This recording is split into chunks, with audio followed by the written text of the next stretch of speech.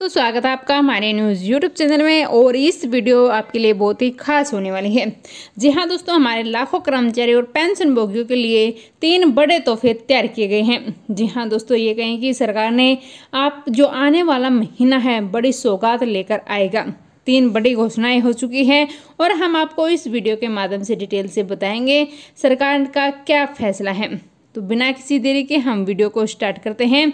दोस्तों, अगर आपने हमारे चैनल पर फ़र्स्ट टाइम विज़िट किया तो चैनल को सब्सक्राइब करना ना भूलें और बेल आइकन को भी ज़रूर दबाएँ।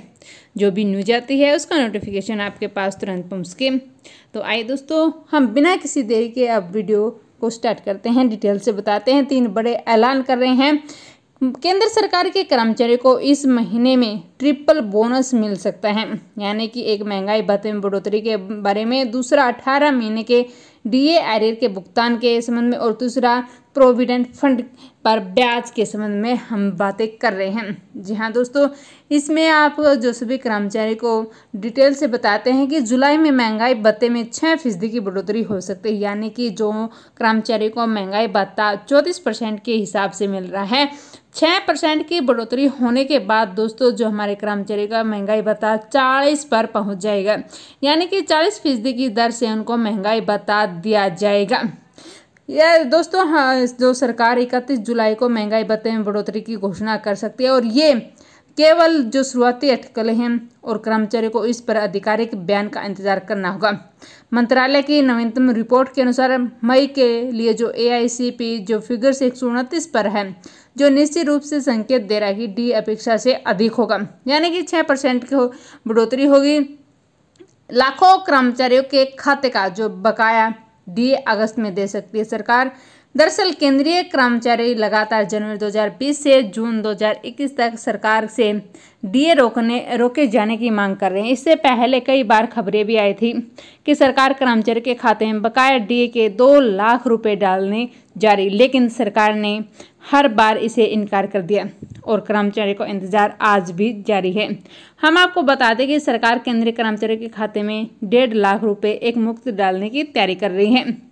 अगली जो हम बताते हैं अठारह महीने का जो पेंडिंग डी एरियर है। जी हाँ दोस्तों इसके बारे में फिर ज़ोर पकड़ लिया है। ताज़ा रिपोर्ट यही निकल कर आ रही है कि जनवरी 2020 से और जून 2021 तक डी एरियर जो 18 मंथ्स के भुगतान के मुद्दे पर जल्द ही विचार कर, कर सकती है। केंद्र सरकार के कर्मचारी को अपने खाते में एक बार में डेढ़ लाख रुपए का बकाया आने की उम्मीद नहीं छोड़नी चाहिए। डीए एरियर की राशि कर्मचारी के वेतन, बैंड और संरचना पर निर्भर करती है। कर्मचारियों की जो बैठक होने वाली है, डीओपीटी और जेसीएम की बैठक, जिसमें कर्मचारी के डीए बकाया भुगतान पर चर्चा होगी और इस बैठक में डीए में बढ़ोतरी पर ऐलान होने की उम्मीद है। हम आपको बता दें कि फ़िलहाल चौदह परसेंट के हिसाब से डी का भुगतान है, लेकिन एआईसीपी आंकड़ों के मुताबिक जुलाई में डीए में पाँच से छः परसेंट की बढ़ोतरी हो सकती है। कोविड के चलते सरकार ने कर्मचारियों के 18 महीने के डीए एरियर पर रोक लगा दी थी। इसके बाद कई बार कर्मचारी का डीए बढ़ाया गया, लेकिन अभी तक बकाया नहीं मिला। तो कर्मचारियों को दोस्तों, उम्मीद है कि सरकार जल्द ही उसका बकाया जो भुगतान कर देगी।